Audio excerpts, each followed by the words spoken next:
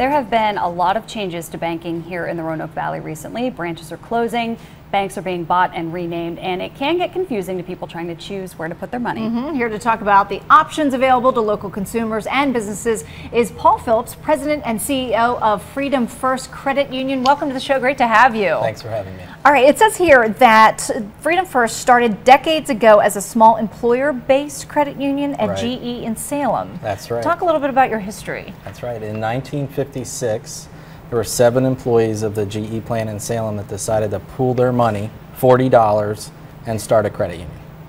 And they served initially the GE employees and then expanded over the years.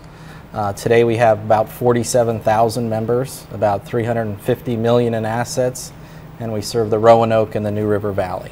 Wow, that's a lot of growth. Mm-hmm. Yeah. Absolutely. Mm-hmm. All right, and over those years, you know, a lot of things change in the banking industry. Talk a little bit about that, and do those changes affect Freedom First? Uh, there's been tremendous changes, uh, not only from a consumer preference standpoint, what we want in terms of technology, mobile banking, and these sorts of things.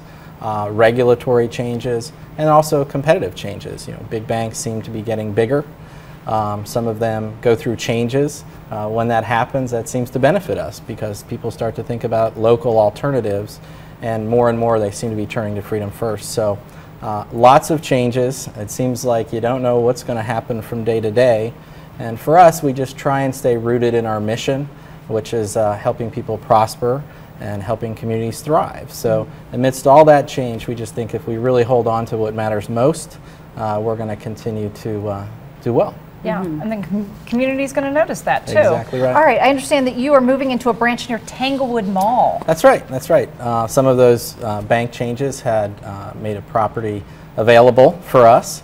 Uh, we'd been looking to locate a branch in that part of the Roanoke Valley for quite some time, so this became available. We moved very quickly, and we will be opening that branch. It's directly across from Panera down by Tanglewood Mall. Mm-hmm. We will be opening that in November. Okay, that's a great location. It there. is. Mm -hmm. Okay, and uh, the West End branch is a little bit different than a typical branch. Tell us about that. It sure is. Uh, the West End branch is really a, a, collaborative effort. There's lots of partners involved, lots of community stakeholders who are very interested in trying to revitalize that part of the Roanoke Valley. Many have been at work in that part of town for years. Uh, so we um, wanted to site a branch in a neighborhood uh, that we really felt we could make a difference, where there wasn't another financial institution in close proximity. And our search led us to West End. So we approached the West End Community Center.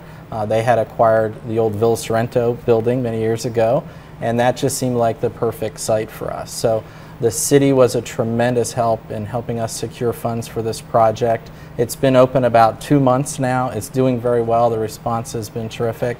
I really think that over time uh, we can make a big difference uh, in the surrounding community, Grandin, Mountain View, Hurt Park, and the West End area. So we're pretty pleased with the way that that's going right now. Yeah, and I understand that the West End project is part of why Freedom First was named 2013's National Community Credit Union of the Year. That's right. right? Yeah, we're very proud of that. Um, you know, we, we submitted our application. We didn't know if we would even make it to the final round, but we were fortunate enough to be chosen by our National Trade Association, uh, the National Community Credit Union of the Year. And I think it was, uh, number one, we're, a strong financial institution. So uh, when it comes to uh, the business of banking, we're good at it. But as I mentioned earlier, we really have a mission uh, that really compels us to do things that perhaps for-profit institutions wouldn't. So whether you're getting, uh, you know, a $50 loan uh, to get you through a pinch or a $5 million commercial loan, we serve people in that whole spectrum and mm -hmm. we mm-hmm. serve parts of the community that perhaps others would not. So I think they looked at all of those things together, being a strong financial institution mm -hmm. and the special mission oriented things that we do, and they were impressed by it. So we're very uh, very appreciative of being recognized in that way.